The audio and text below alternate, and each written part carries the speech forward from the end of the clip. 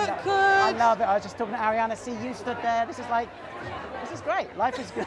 Good, life is good. Are you, are you excited about you know the whole thing, getting ready, doing the carpet, meeting everyone? Yeah, yeah, man. I mean, I'm here representing like one of the best films I've ever done. Got three nominations in there. Like, I'm just really proud of everyone. Back again, last year was amazing um, to be here with Bond, and um, now I'm here with something else I'm proud of. Bad marker of a career, is it? When you go, here's what I did this year. Exactly. And next year and the year after, yeah, long may it continue. Matilda's nominated as well for one as well. I know, I know. I um, that's, it's, it's still bizarre to me, actually, that that's happening simultaneously. But again, mega proud and yeah, happy for what's going to come in the future. You enjoy, I know not obviously the Woman King gang are here tonight, but do you enjoy meeting everyone else? Because it's incredibly random who you must bump into. I know. I just got here, so I'm like, who's who's who's about? Who's around? I literally just saw um, Daryl McCormack and went hi, and he was like, hi. But I realised that I'm just really, really excited because it's a good time.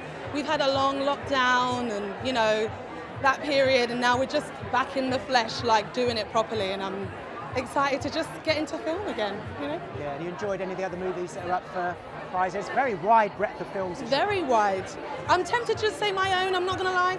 Tempted to say my own, mainly because I really want to represent them. And I feel like split because they deserve so much. And I'm just really, really mega proud. It's a great year for film.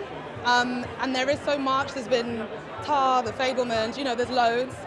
But The Woman King and Matilda are like really proud moments of my career. So I look forward to clapping for them tonight. And Sheila as well for Rising Star. So Yes, yes, hope to be handing that to her myself. You get to present it. I get to present it, yeah, so yeah, let's see for that. That'll be a warm embrace right I there. know, I know. I'm probably going to squeal it if it is her, and she'll just have to make out if it's her name or not, because she'll it won't really be a name, it'll just be a scream.